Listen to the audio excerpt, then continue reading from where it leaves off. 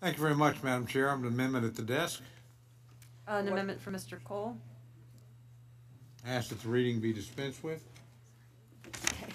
The gentleman uh, from Oklahoma is recognized. Thank you very much, Madam Chair. Madam Chair, I offer an amendment to prohibit the Air Force from divesting uh, so-called E-3s, better known as AWACS, aircraft several years before its replacement program uh, can actually come online.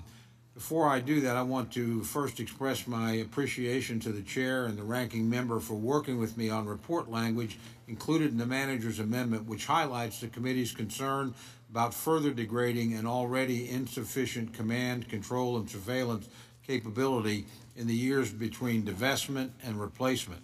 I intend to withdraw this amendment for now, uh, but I want to take a moment and I want to request the committee's continued involvement as we seek additional information and ultimately reserve the right to uh, return this amendment during the conference process.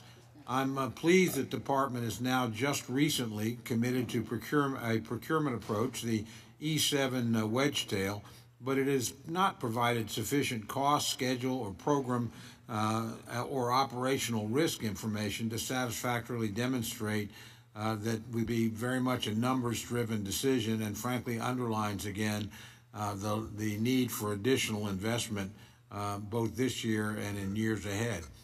The existing EC fleet is already insufficient to meet uh, the combatant commander's needs, uh, and the budget proposes, frankly, uh, a divestiture that it will take at least five years to replace. It seems to me it would be much wiser to uh, divest as replacements were coming online so we didn't lose capability.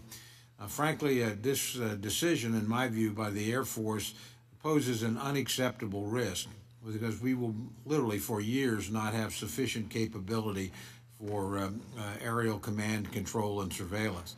Uh, again, I also want to emphasize when you lose the planes, you lose the crews and you lose the maintainers. They're not going to sit around for five years while we wait to bring new aircraft online. And if we find ourselves, as we may, in a conflict during that five year period, we will be woefully short of aerial command and control capabilities. Uh, so divesting the AWACS platform, frankly, cripple, cripples a critical capability that's already in short supply. But again, um, I would uh, appreciate the chair's assurance she'll continue to work with us. I have that assurance, I'd be more than happy to withdraw the amendment.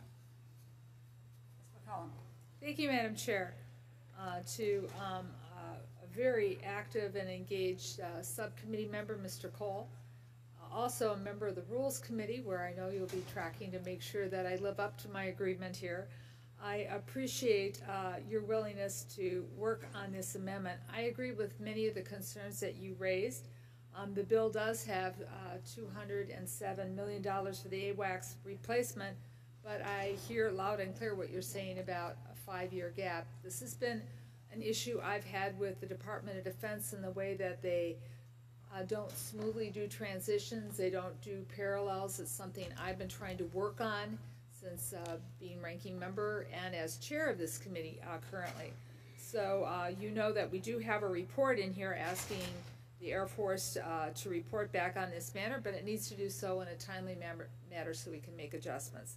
So I look forward to working with you, Mr. Cole, and um, I thank you for at this time withdrawing the, the willingness to withdraw the amendment. Madam Chair, I yield back. I want to thank uh, the chair and uh, look forward to working with her. And um, frankly, I think she's uh, uh very wise in in stressing the need to retire old platforms, but do it in a responsible way. Uh, and I, I, think that, frankly, the Air Force has come up short for a variety of reasons in recent years, and we run this risk. But uh, again, uh, I thank the chair very much and uh, look forward to working with her on this matter as we go forward. With that, Madam Chair, I withdraw the amendment.